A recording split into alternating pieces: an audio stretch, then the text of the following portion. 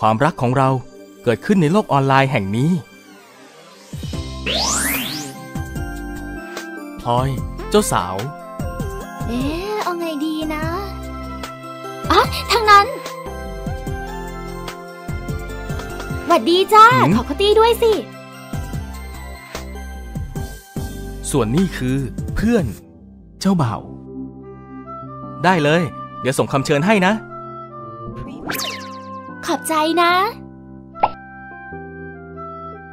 และนั่นคือจุดเริ่มต้นของการพบกันในโลกออนไลน์ เราเจอกันในเกมทุกวัน เข้ามาเลย นี่นะระวังนะ คุยกันทุกวัน รู้ตัวอีกทีวันวาเลนไทน์เราก็แต่งงานกันแล้วจ้า หมายถึงในเกมนะ จ้า เวลาผ่านไปจนถึง 15 เมษายน เราก็นัดเจอเพื่อนๆ ที่เล่นเกมด้วยกัน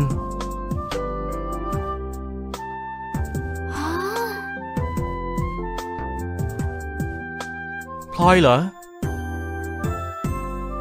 พลอยเอง ในที่สุดก็ได้เจอกันสักทีนะ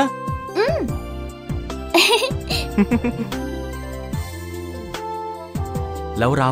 ก็ตกหลุมรักกันและกัน ในครั้งแรกที่ได้เจอหน้ากัน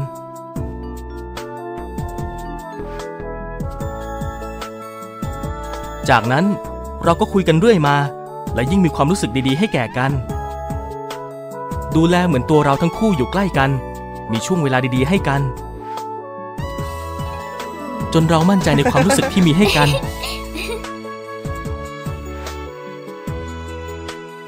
จากคนแปลกหน้าในโลกออนไลน์ จนกลายมาเป็นคนสำคัญที่ได้อยู่เคียงข้างกันในชีวิตจริง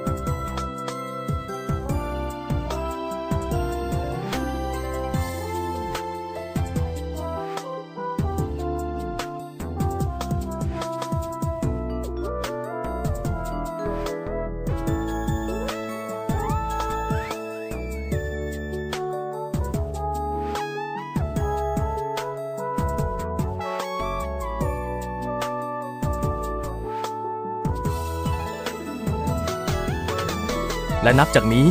เราจะใช้ชีวิตร่วมกันเช่นนี้ ตลอดไป